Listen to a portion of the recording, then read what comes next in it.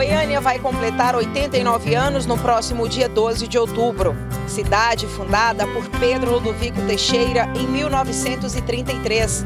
Goiânia também é conhecida nacionalmente por exportar cantores sertanejos, que começaram a carreira por aqui, como Zezé de Camargo e Luciano, Leandro e Leonardo, Gustavo Lima, Guilherme Santiago, os saudosos Cristiano Araújo, Marília Mendonça e muitos outros que migraram de outros estados para estruturar a carreira na cidade, considerada a capital nacional da música sertaneja.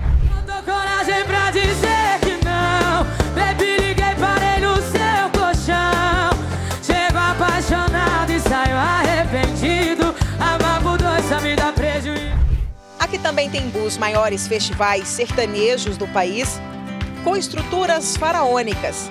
No mesmo dia que acontecia o Rock in Rio, no Rio de Janeiro, Goiânia recebia o Boteco do Gustavo Lima. O palco do sertanejo tinha 32 metros de altura e mais de 1.650 metros quadrados de LED. Já o Carioca possuía uma altura de 30 metros. Aqui é por vocês, por Goiânia, pelos goianos, pela nação sertaneja! Goiânia chama a atenção também pela arquitetura em Art Deco. No Brasil, esse estilo ganhou relevância com a primeira capital planejada do país, a nossa Goiânia. Aqui, toda a arquitetura da cidade foi pensada nesse estilo artístico. Os edifícios da Praça Cívica, onde estamos, por exemplo, são todos em arte deco, nosso patrimônio cultural. Aqui também tem o Monumento das Três Raças, construído em 1968 pela artista plástica Neuza Borges. Uma estrutura com 300 quilos de bronze, com 7 metros de altura. Simboliza a miscigenação do negro, branco e índio, formadores das características genéticas e culturais do povo goiano. Um ponto apreciado por turistas estrangeiros. Difícil é encontrar um goianiense que tenha feito uma foto aqui. Já imaginou tirando uma foto na Estátua da Liberdade, a verdadeira? Meu sonho. No Cristo Redentor? Também. E você já, e você já fez uma foto ali com a, com a nossa estátua? Não. Por que não? Não. Porque eu acho que eu vim aqui para perto. Se você estivesse passeando aqui, se você fosse, sei lá, uma argentina, se você fosse uma europeia, você ia querer fazer uma foto aqui, não ia? Lógico. E por que que não faz? Vou fazer. Então vamos? Vamos. Vamos lá, vamos. deixa eu fazer para você. Olha aí se ficou bom para você. Ficou ótimo. Vai postar? Vou. Vai marcar o quê? Ah, é o Loares. eu, como uma boa cidadã goianiense, vou pedir para a Cibele fazer uma foto para mim, porque eu também não tenho foto aqui.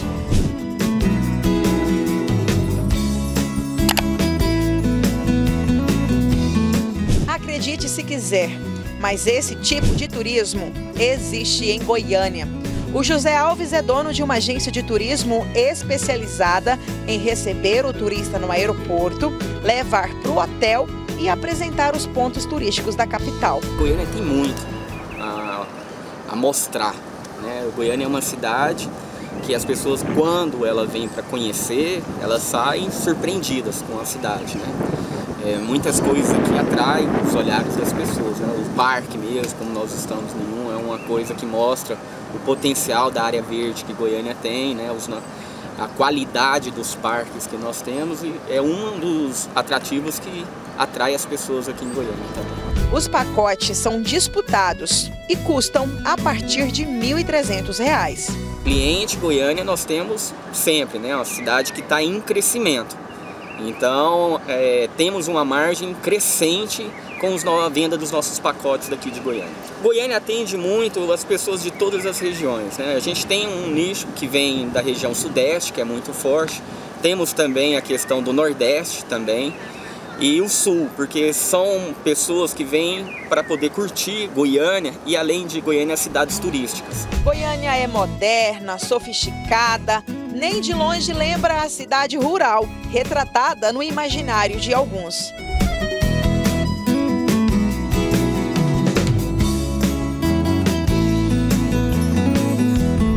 Americano gosta de vir, europeu gosta de vir, italiano gosta de vir, várias regiões do mundo. E o que, que tem aqui em Goiânia que agrada essas pessoas? Além das goianas, a nossa culinária, a nossa segurança, a nossa cidade é uma cidade que tem aquele estilo de cidade pequena, mas você encontra de tudo, né?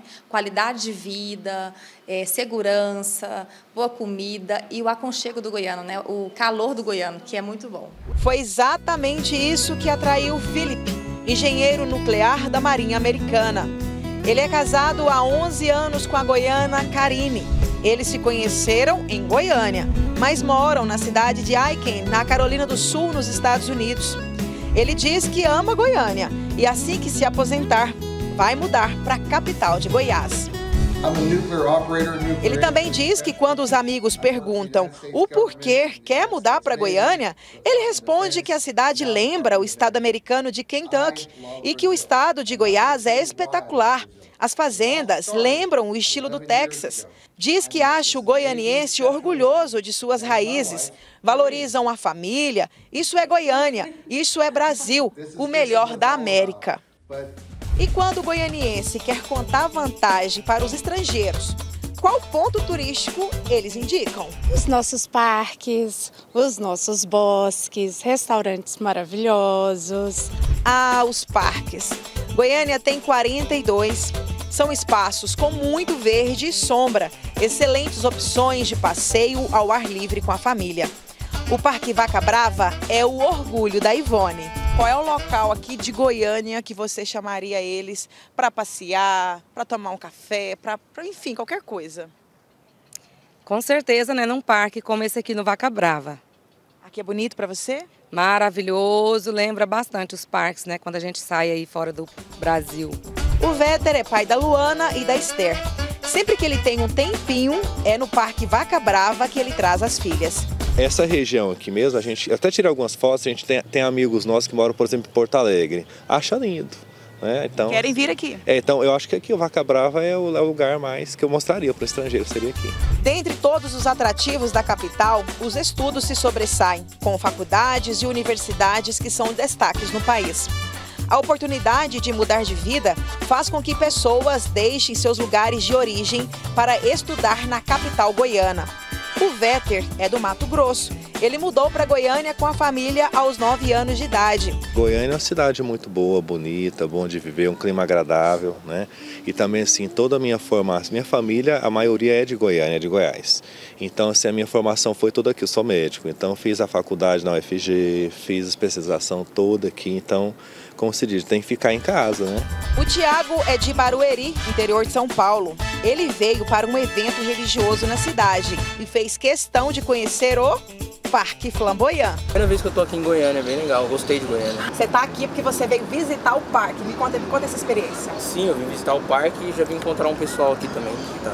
Mas marcou aqui de propósito? Isso, marcamos aqui já. Aqui no Flaymont, né? Isso. Não, Parque Flamboyant. Flamboyant, isso. Não tinha Flaymont. Apesar de ter chegado há pouco na cidade, ele já tem algumas informações. Eu gostei um pouquinho do centro, que eu vi que tem, acho que é 44 ali, tem uma feira grande e tal. Em São Paulo seria o Braz, mais ou menos assim, né? Então achei bem interessante também. Exatamente. Temos o segundo maior polo de moda do país. Não é à toa que os íntimos chamam Goiânia de capital da moda. A Marlene mora em Idaiatuba, também no interior de São Paulo, a cerca de 830 quilômetros de Goiânia. E sempre que pode, está por aqui. Ai, dessa cidade, Goiânia. É uma cidade maravilhosa. Sempre que posso, eu estou aí. E o lugar que eu mais gosto é a 44, não tem jeito. Vou aí fazer minhas comprinhas básicas. Amo esse lugar. Goiânia, tudo de bom. Ah, a 44, uma região com mais de 17 mil lojas, que emprega mais de 160 mil pessoas. Um lugar que vende roupas de qualidade com um precinho em conta. A Maria Eunice veio de Barretos visitar familiares e. A gente ouviu falar muito bem daqui, então, por isso. Aqui é um dos pontos, então, que o turista tem que vir. Com certeza, com certeza. Não pode ir embora de Goiânia sem conhecer aqui. Os turistas da moda vêm de todos os lugares do país. E a Aline já elegeu os que mais gostam de comprar em Goiânia. Vem de São Paulo, vem de Brasília, Minas Gerais e os do Pará, inclusive, são os melhores. São os que mais gastam? Os que mais gastam, gente. A região da 44 se mistura à Feira Hip, a maior da América Latina, a Feira da Madrugada e a outras 120 feiras livres por toda a cidade. Feira é bom para encontrar os amigos, para comer, beber e comprar looks charmosos para as noites goianienses, que são sempre agitadas.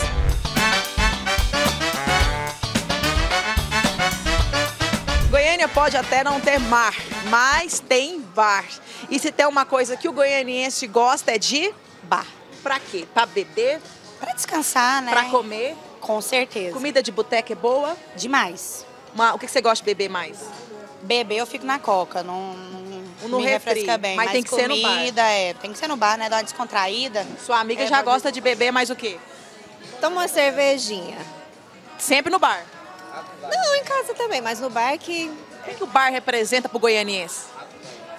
amigos, né? É, estar confraternizando, sempre na risada, é esse momento que é bom. Ó, chegou um pastelzinho aí. Você viu? Delícia. A cara do goianiense. É bom demais. A gente aproveitar isso daqui, né? Melhor do que em casa, com certeza. Porque bar, Goiânia, só Goiás que tem. Nossa, não tem o melhor que Goiânia, não, né?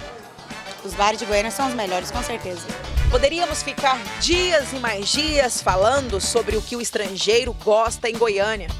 Povo, cultura, grupos sociais, religiões, beleza, enfim. Mas dizem também que goiano atrai turista pela barriga. Afinal, a gastronomia aqui é um dos maiores tesouros do estado. E os estrangeiros querem comer o nosso sanduíche, para os íntimos o nosso X, o nosso empadão goiano, outras delícias e, claro, a pamonha. Nós estamos em uma pamonharia, porque eu vou dizer, esse quitute é energético, é rico em fibra, é uma coisa assim que o goiano exporta, que o, o estrangeiro vem justamente para saborear. É isso? Quando eles experimentam, vendo sabor que é do milho, eles amam. Eles gostam de todos, sal, de doce, amor, eles querem experimentar todos os sabores. Recente, uma famosa atriz mexicana esteve em Goiânia pela segunda vez e ela classificou a pamonha como um pecado mortal.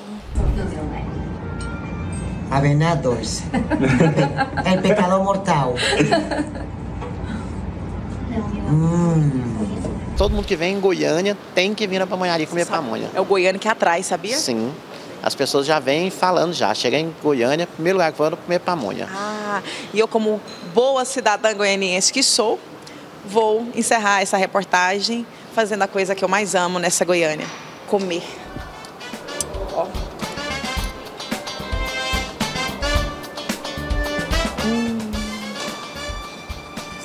A moda deliciosa.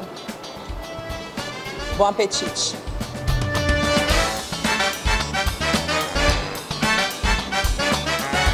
É cidade para turista nenhum botar defeito.